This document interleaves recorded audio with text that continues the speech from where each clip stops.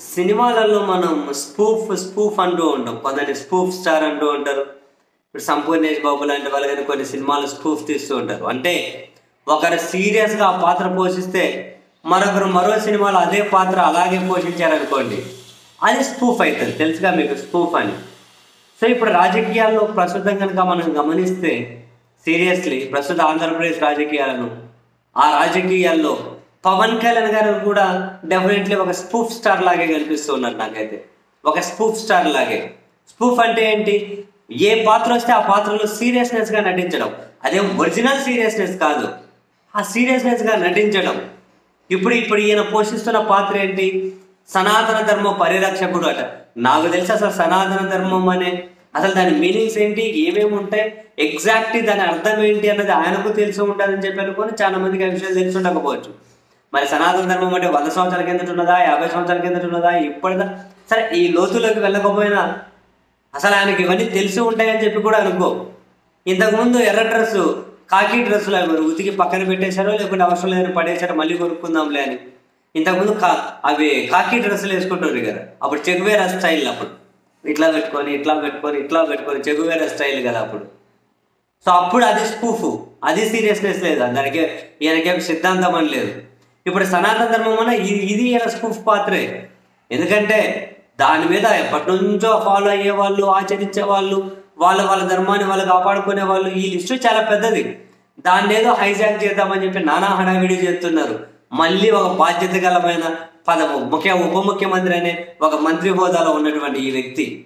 ఇది కూడా స్పూఫే ఇది కూడా స్పూఫే ఎంత ఈజీ స్పూఫ్ అంటే పదకొండు రోజుల కిందట తిరుపతి లడ్డూ ప్రసాదానికి అపచారం జరిగిందని చెప్పి దీక్ష చేసిన అని చెప్పి ఈయన సుప్రీంకోర్టు చెంపలు వాయించేసరికి ఏ ఇది సు- తిరుపతి లడ్డూ ప్రసాదానికి సంబంధించి కాదు. గత ఐదేళ్ళలో జరిగిన అపచారాలకు సంబంధించి అంటారు. ఎంత ఈజీగా మాట మారుతారు చూడండి. ఆ స్పూఫ్ స్టార్ ఇప్పుడు జగన్ సర్కార్ ఉన్నప్పుడు ముప్పై మూడు వేల మంది మహిళలు వాలంటీర్లు అమ్మేశారు అన్నారు. ఏది ఒక కమిటీ పోయి విచారణ చేయించు. ఎవరైనా కనుక రియల్ స్టార్ అంటే జెన్యున్గా ఉంటే సీరియస్నెస్ ఉంటే వాళ్ళ కమెంట్ల మీద వాళ్ళు అలా చేస్తారు. ఈయనకు అవన్నీ ఏం లేవు కదా. ఏదో స్పూఫ్ ఇప్పుడు ఏ పాత్ర వస్తే ఆ పాత్రలో ఎగ్జిక్యూట్ చేసుకుంటూ వెళ్తూ ఉండడం. ఏ పాత్ర వస్తే ఆ పాత్ర ఎగ్జిక్యూట్ చేసుకుంటూ వెళ్తూ ఉండడం. వాళ్ళని ఇంకా స్పూఫ్ స్టార్లు అనేది అదే కదా. అదే కదా. అంటే సీరియస్గా వీళ్ళ విధానం ఇది కాదు ఈయన ఐడియాలజీ అదని కాదు. పోనీ దీని మీద కమిట్ అయి ఉంటారని కాదు. ఇట్లా ఏం లేదు. ఇట్లా ఏమీ లేదు. ఏదో ఆ పాత్రలో ఉన్నంతసేపు సీరియస్నెస్ నటించడం. చూసే వాళ్ళకి మాత్రం పెద్ద ఎంటర్టైన్మెంట్ ఉంటుంది.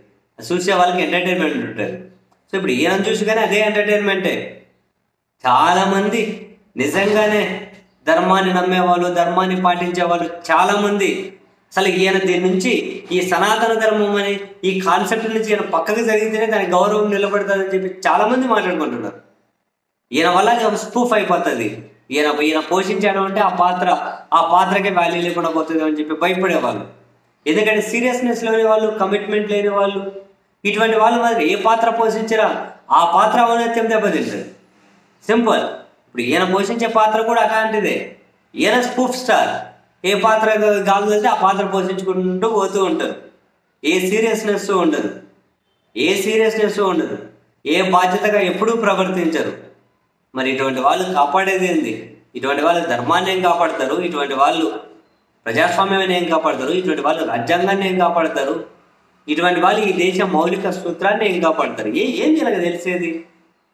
అందుకే అంటున్నాం మనం. సీరియస్గా తీసుకోవాల్సిన అవసరం లే. స్పూఫ్ స్టార్ అప్పుడప్పుడు ఎంటర్టైన్మెంట్ అవసరం కాబట్టి ఇలాంటి వాళ్ళు ప్రస్తావన తీసుకురావాల్సి ఉంటుంది.